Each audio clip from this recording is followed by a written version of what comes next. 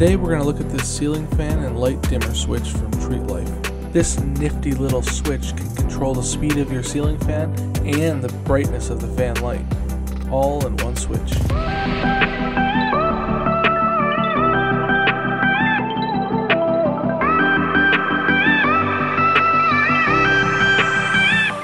If you've got a ceiling fan in your house with pull chains, this is perfect for your application if you want to automate that. If you're on a budget but you're looking to automate your home, these are the switches for you.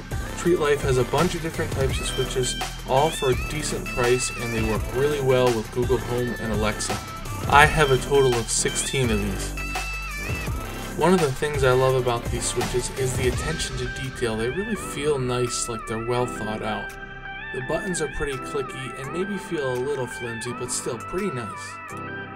Hardware wise, I've seen complaints that the holes don't line up for switch plates, but I really never noticed any of those issues.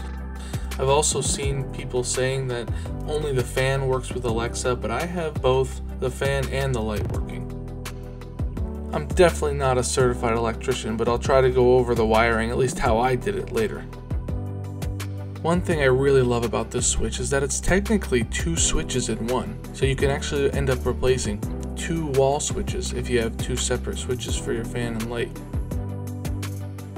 At first glance, it may look like there's a lot of wires coming out of the back of this thing, but don't worry, they're all neatly labeled, and they even come with little sticky labels you can put on the wires that are in your switch box. I'll quickly try to explain how the wiring works. You have five wires coming out of the switch. You have the neutral, white, you have the line, black, you have the lighting load, red, you have the fan load, which is yellow, and then you have the green one, which is the ground. Make sure you have a neutral in your box because this switch needs continuous power.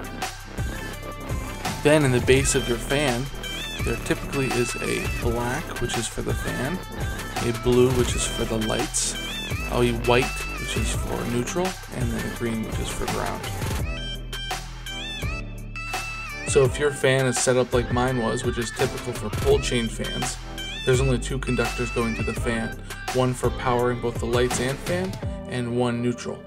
If you want to do this switch, you're going to need to have three conductors going there. One separate one for the lights, and then one for the fan, and then the neutral. You may need to run some three conductor wire. Once I did that, I was able to wire it as I've shown here. So once you connect it all up and turn the power on, the last thing left to do is to connect it to the Smart Life app, which uh, they give you instructions on how to do. And then you want to connect that to Google Home or Alexa. I'm not going to go over how to do that here, but it's very simple. One thing people may be wondering about is how it shows up in Google Home, for example it actually shows up as two separate devices. It shows up as a light and it shows up as a fan. Uh, the fan comes with the proper name as how you named it from the Smart Life app, but the light is just called light, so you have to rename it and then put them both in the room of your choice. When either the fan or the light are on by themselves, the plus and minus buttons are used to adjust either the speed of the fan or the brightness of the light. While the light has 14 settings for different brightness levels, the fan has 4 settings for different speeds.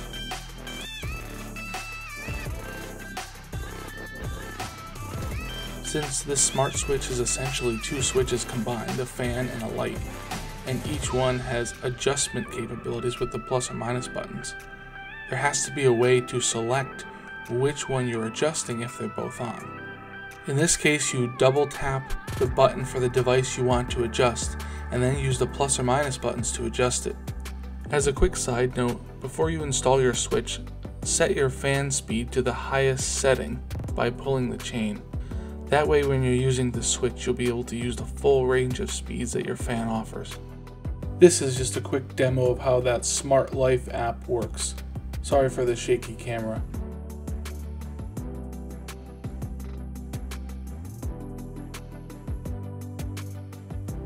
Google, turn on the kitchen fan light. Okay, turning kitchen fan light on. Hey Google, turn on the kitchen fan. Got it, turning on kitchen fan. Alright guys, well that's really all I had for you today. If there's anything I didn't cover that you want to know about or any other questions you have, please leave them in the comments and I'll try to respond as soon as I can. If you like this video, please check out my last video where I reviewed the TreatLife Smart Dimmer Switch for lights only.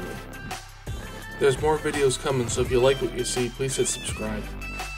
Anyway, thanks for watching. See ya.